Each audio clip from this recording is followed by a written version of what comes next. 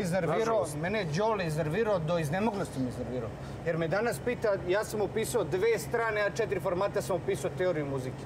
I danas me pita, dođi Stanjo Mivićević da mi pokaže šta da sviram. I ti mi govoriš zvezde će, koje zvezde bre, mamu ti jebem. Ja Izvini, ali koje zvezde, pička ja ti sam ga materinu. zezo sad i ja te razumem. Nemoj me zajebavati. Ja I ga onda dođe mi se je pravda. sa mnom sam ga Ej, ali onda dođe mi se pravda. Nemoj mi se pravdaš, bre. Nemoj da si rekao to više u životu, bre. Ja te razumem 100%.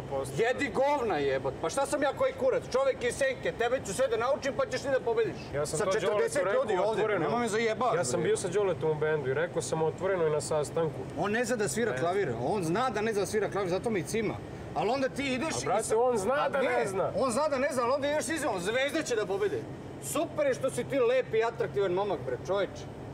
Nemoj mi pričati te stvari, bre, jebot. Ja idem sviram 16 instrumenta ovdje, ti će pobediš. Evo ovako, prvi Đole, koji me cimo, koji me cimo već nedeljama sa planom, ajde molim te mi pokaži malo harmoniju, kako sviram klavirovo ono, i ne cima me čovjek.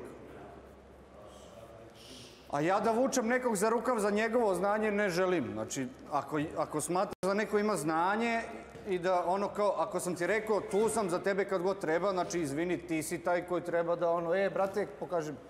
Ja sad njemu pokazujem i onda izjavljuje zvezde će da pobede. Čekaj malo, ajmo malo sad ono. Ja dolazim, pomažem tebi, pišem ti ja četiri formate sveske, evo danas smo pisali sveske. Pa da mu, postaneš, da mu pomogneš postane zvezda da pobedi. Znači evo, e pa evo, evo ja ću isto zvezda da postanem naš.